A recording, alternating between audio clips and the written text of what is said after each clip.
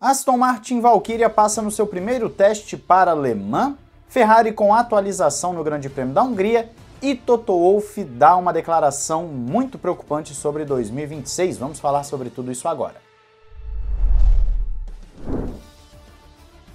Olá, amigo do Ressaca Fórmula 1, seja bem-vindo a mais um vídeo. Eu sou Matheus Pucci e hoje já tivemos um vídeo mais cedo. Se você não viu, tem informações importantes lá. Agora vamos para mais um vídeo de notícias. Começando com o Aston Martin Valkyria. O famoso carro lançado em parceria com a Adrian Newey está se preparando para estrear nas corridas de longa duração.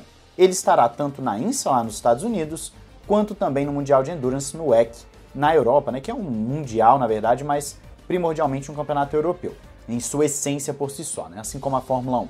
A boa notícia é que o carro já passou no seu primeiro teste antes de iniciar a fase principal de testes nas próximas semanas. Foi um teste de checagem de sistemas sem a carroceria e foi para ver principalmente como está o motor e também o sistema de frenagem. Lembrando que a Aston Martin vai estar tá com dois carros do Valkyria no WEC no ano que vem. E a estreia do carro será em Daytona, na INSA, nas 24 horas de Daytona, na abertura da temporada, que vai ser bem legal de acompanhar. Existe uma expectativa muito grande em cima desse carro, inclusive vocês já perguntaram aqui nos comentários se não seria possível ele estar no WEC em breve. E sim, vai estar inclusive com dois carros no WEC.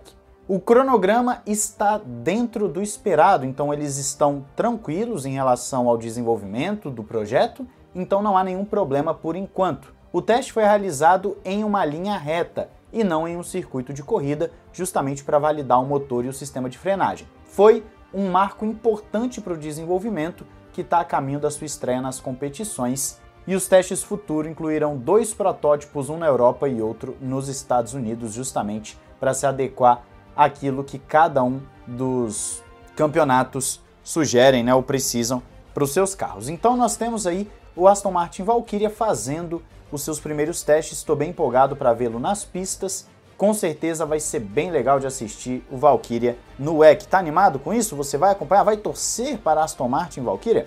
Me fala aí nos comentários. Hoje mais cedo falamos sobre Ferrari e sobre o problema que ela está tendo, já mudando seu foco para 2025, e também falamos sobre a atualização que virá em Singapura para corrigir os principais problemas do carro.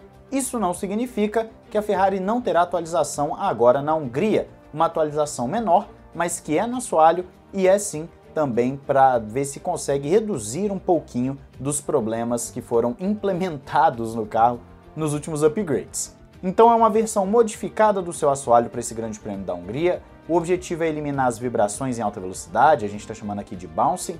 A nova base do carro tem aumentado a força aerodinâmica, porém prejudicou justamente com esse bouncing, o que deixou a Ferrari na prática mais lenta, né? Ela está perdendo performance ao invés de ganhar performance. Então eles estão optando por dar um passo atrás, ver o que funcionava no carro no upgrade anterior, né, na versão anterior do carro, para então trabalhar em cima disso Lembro que falamos recentemente, que até foi colocado que andar para trás não significa andar para frente? Pois é, a Ferrari, pelo visto, entendeu isso e agora eles vão voltar à sua base anterior para então melhorar o seu carro.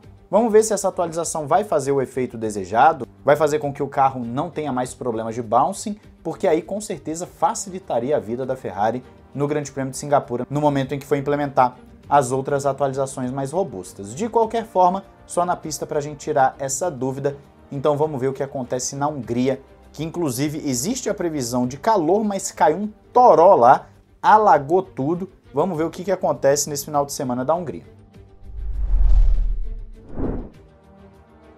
Bom, a nossa última e mais importante notícia de hoje, com certeza, é preocupante. Nós sabemos que o regulamento de 2026 está sendo criticado já faz muito tempo, né? Desde o ano passado, basicamente. Aqui no canal já fizemos vários vídeos sobre isso, vídeos com o Thiago do Fórmula Brum, por exemplo. Tivemos já muito conteúdo e agora vem mais uma pedrada nas expectativas para 2026. Toto Wolff, chefão da Mercedes, expressou a sua preocupação com o novo regulamento, alertando que os carros podem ser cerca de 10 segundos mais lentos por volta. Você não ouviu errado. 10 segundos mais lentos por volta. E segundo ele, isso é lento demais. Ele destaca que as simulações da Mercedes com os novos carros indicam que as mudanças, principalmente no caso dos motores, né, tá gerando um belo de um problema em termos de desempenho e que talvez fosse melhor um sistema com menos bateria e mais motor a combustão,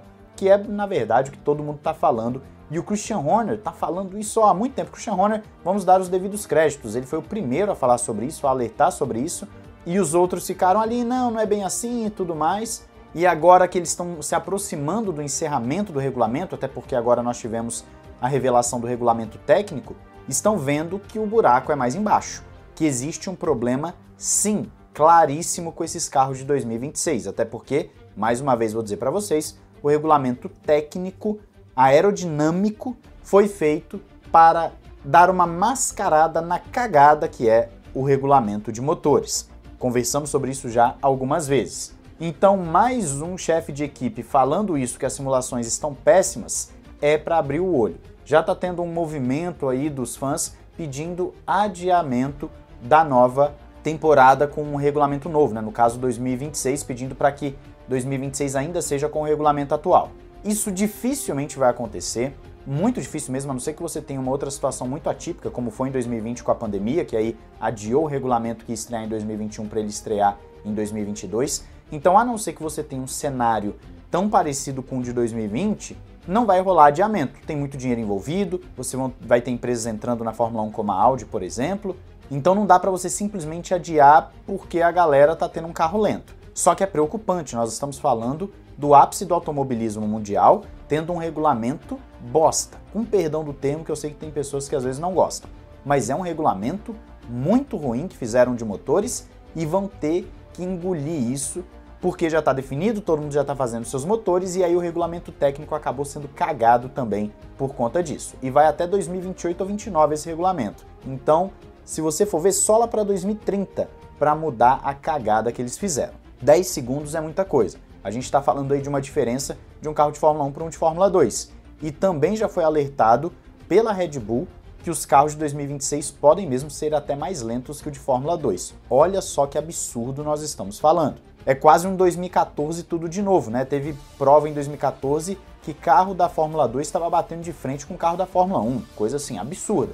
Vamos ver o que vai dar essa bomba toda e, claro, eu quero saber a sua opinião aí nos comentários. Não esqueça de se inscrever e ativar o sininho para não perder nada. E tem camisetas excepcionais 100% algodão lá na Paddock BR, cupom RESAC1 para desconto e frete grátis de todas as equipes e pilotos, não se esqueça. Tem também jogos de gift cards lá na Instant Gaming, já já vai ter pré-venda do FIFA 25, que é EAFC 25, né?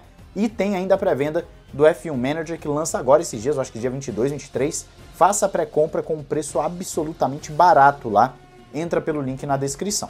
Um grande abraço, valeu e falou!